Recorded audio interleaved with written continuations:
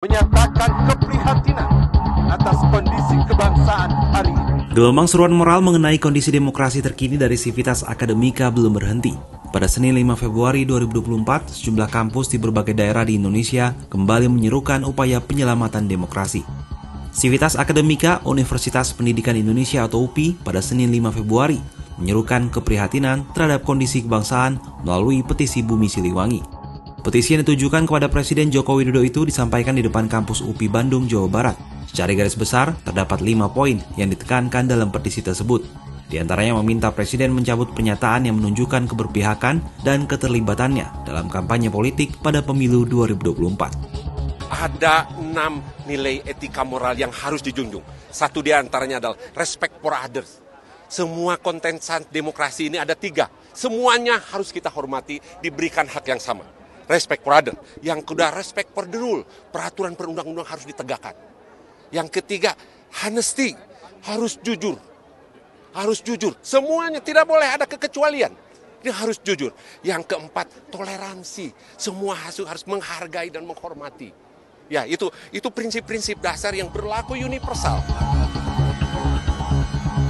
Hal serupa juga dilakukan oleh Sivitas Akademika di Surabaya, Jawa Timur, Senin 5 Februari. Petisi atau manifesto digemakan dari Universitas Airlangga, Universitas Negeri Surabaya, Institut Teknologi 10 November, dan Universitas 17 Agustus 1945. Manifesto terdiri dari empat butir, salah satunya meminta Presiden sebagai kepala negara dan kepala pemerintahan harus merawat prinsip-prinsip etika republik dengan tidak menyalahgunakan kekuasaan, menggunakan fasilitas dan alat negara untuk kepentingan kelompok tertentu maupun beri pihak dalam politik elektoral, dan menghentikan segala praktik pelanggangan politik kekeluargaan.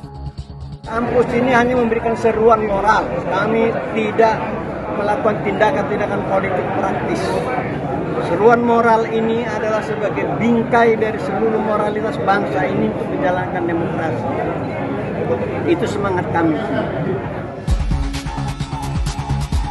Seruan juga dilakukan oleh Sivitas Akademika dan Sekolah Tinggi Filsafat dan Teologi se-Indonesia pada Senin siang. Dalam seruan yang digelar di Jakarta ini, mendesak Presiden Jokowi agar berlaku jujur dan adil dalam pemilu 2024.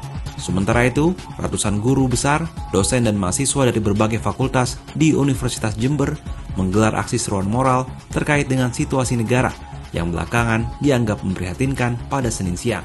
Mereka juga menuntut KPU, Bawaslu dan pemerintah untuk memastikan seluruh penyelenggara negara bersikap netral.